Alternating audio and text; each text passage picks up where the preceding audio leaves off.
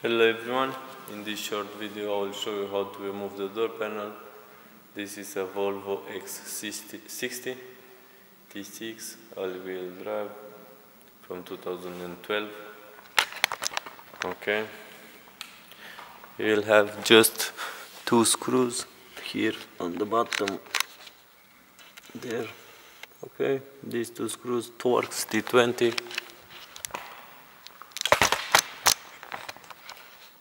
Okay.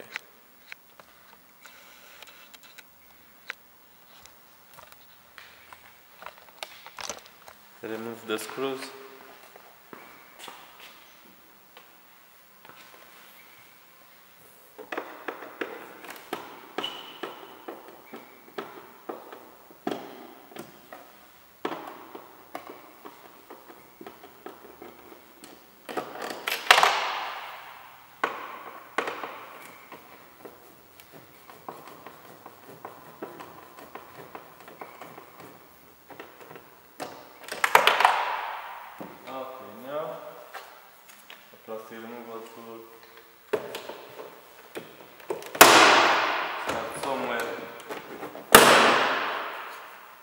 Pop up two, three clips, and after that, we'll put your hand under. Okay, on the top, you have clips like this. You need just pull.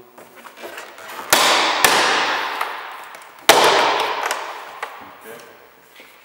You have here a yellow clip that you need to pull to the left to release it. Okay. You have some cables for the window switch, stereo, speaker.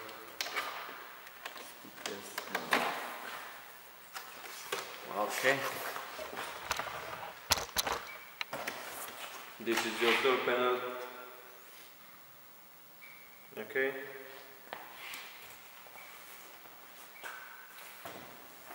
This is your door speaker. It has screws,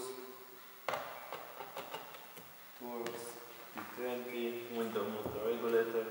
If you want to remove the swiper, all this plastic cover. After that, you can take it out. Okay. This is it. How you remove the door panel.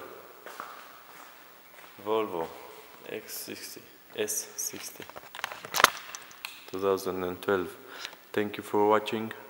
Have a nice day. Bye bye.